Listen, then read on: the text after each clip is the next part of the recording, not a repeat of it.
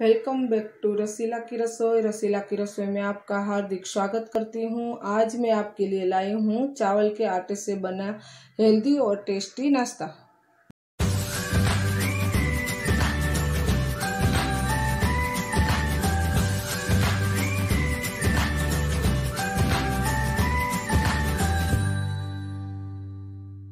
चावल के आटे से एकदम टेस्टी नाश्ता बनाने के लिए मैंने लिए है स्वीट कॉर्न एक बाउल जीत का दाना निकाल के रख दिया है और मैंने शिमला मिर्च को काट के लिया है, गाजर को मैंने छीन लिया है ओनियन को छोटे छोटे पीस में मैंने काट लिया है, टमाटर को भी मैंने काट लिया है और केबिस को मैंने छीन लिया है और कोरिएंडर लीव्स लिया है एक बाउल जितना।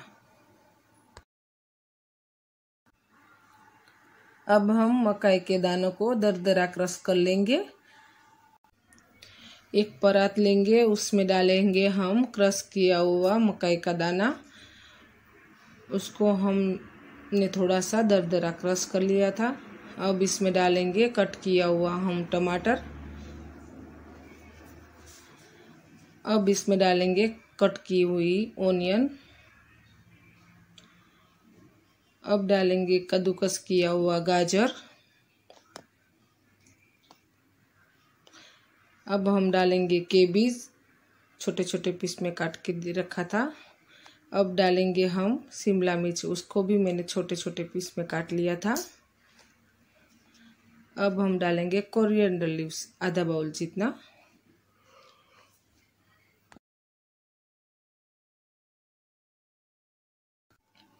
अब हम इसमें डालेंगे राइस फ्लोर राइस फ्लोर मैंने घर पे ही बनाया हुआ है। अब चाहे तो आप बाज़ार से ले सकते हो।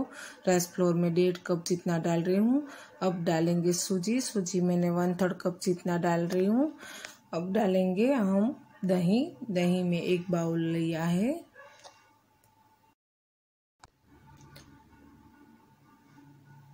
अब हम डालेंगे इसमें सिली फ्लेक्स एक चम्मच जितना। अब इसमें डालेंगे हरी मिर्च, एक चम्मच जितना कट किया हुआ। इसमें डालेंगे अदरक, कद्दूकस किया हुआ, एक इंच। और इसमें डालेंगे ओरगिनो, एक चम्मच।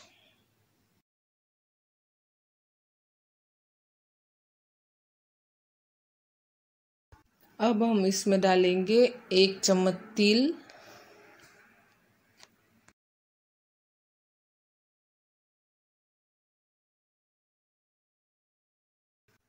अब हम इसमें डालेंगे काला मरी पाउडर, आधा चम्मच।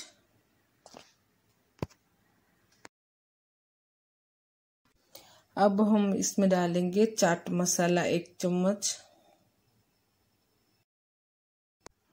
अब हम इसमें मिलाएँगे नमक स्वाद अनुसार। अब हम इसमें मिलाएँगे एक चम्मच इतना साबुत जीरा।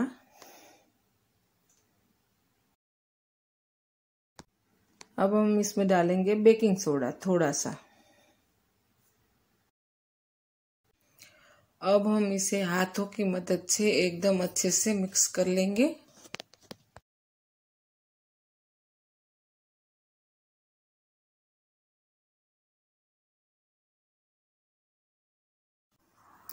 हमें आटा को अच्छे से मिक्स करना है, क्योंकि वेजिटेबल में थोड़ा थोड़ा पानी रहता है तो आटा सोख लेता है।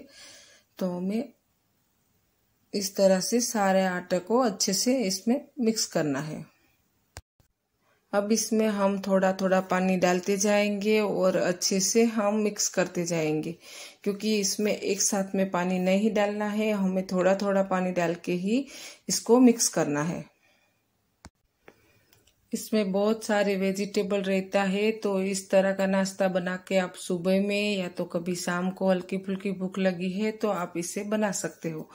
इसे एक बार बनाओगे तो आप बार बार खाने का मन करेगा। ऐसा टेस्टी और इतना मज़ेदार नाश्ता बनता है तो आप घर में एक बार ज़रूर ट्राई कीजिए और मुझे कमेंट सेक्शन में ज़रूर बताइए।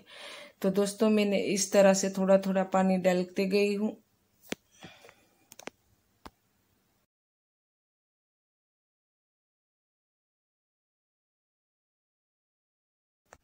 तो इस तरह से मैं थोड़ा थोड़ा पानी डालते गई हूँ और एकदम मसल के इस तरह का मैंने थिक बेटर बना लिया है।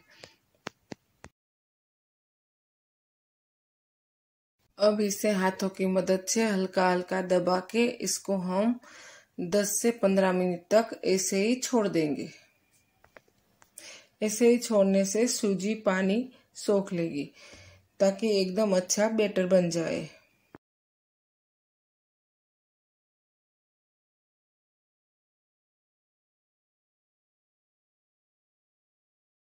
अभी पंद्रह मिनट हो चुके हैं तो इस तरह का टेक्सचर बन गया है तो अब इसे हम अच्छे से मिक्स कर लेंगे और मसल लेंगे।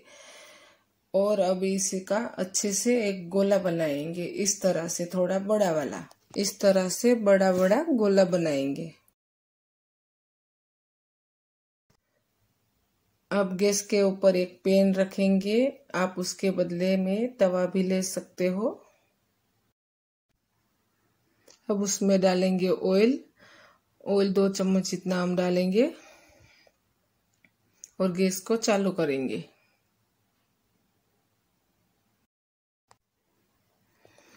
एक लोहा बनाएँगे, उसको हाथों की मदद से इस तरह से हम हल्का हल्का प्रेस करते हुए फैला देंगे। एक लोहा बनाएँगे और उसको पेन के अंदर रख देंगे। और हल्का हल्का हाथों की मदद से प्रेस करते हुए हम इसको इस तरह का बना लेंगे। अब इसको हम इस तरह से चम्मच की मदद से हल्का हल्का हलाते हुए सेकेंगे और हल्का ब्राउन होने के बाद चम्मच की मदद से आराम से हम पलट लेंगे ताकि टूट ना जाए। एकदम हल्का ब्राउन हो चुका है और कितना अच्छे से सेक चुका है। तो हम इसी तरह से दोनों साइड सेक के हम इस नाश्ता को हम सॉस या चटनी के साथ सर्व कर सकते हैं। बहुत ही टेस्टी और बहुत ही मज़ेदार ये नाश्ता बन के रेडी होता है। तो आप भी बनाइए इस तरह का नाश्ता। बहुत ही टेस्टी और अमेजिंग नाश्ता बन के रेडी होता है तो इसे आप बना के ज़रूर ट्राई कीजिए। और मेरी वीडियो पसंद आई है तो आप ज़्यादा से ज़्यादा शेयर कीजिए। मेरी चैनल सब्सक्राइब कीजिए बेल आइकन ज़रूर दबाइए, ताकि मेरी अगली वीडियो की नोटिफिकेशन आपके पास जल्द से जल्द पहुँचे। जय हिंद, जय भारत, धन्यवाद। Thanks for watching